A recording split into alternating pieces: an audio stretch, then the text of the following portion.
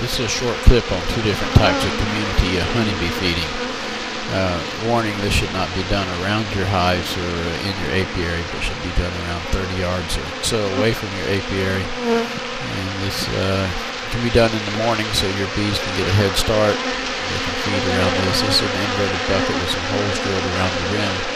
Creates a uh, sugar syrup moat that the bees can drink out of without falling in and drowning location of the holes are important so that the so that the moat stays filled. This is another method using like a uh, chick water and um, has rocks in it that the bees can stay on and crawl down in between without drowning and, and yet still get to the sugar syrup. Uh, there are a couple of bees in there that uh, sort of battle or tug of war, but generally they feed happily and don't bother each other.